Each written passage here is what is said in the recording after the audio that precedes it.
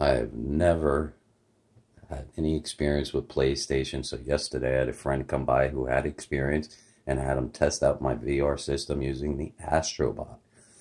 He definitely experienced dizziness, like being on a, a roller coaster. Your stomach goes. It's all visually enhanced. He did it for like a half hour.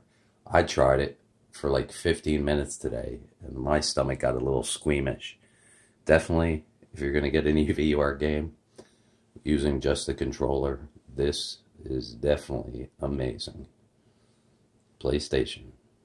And it's only on PlayStation. Astrobot.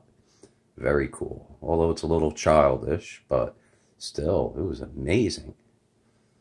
Cool.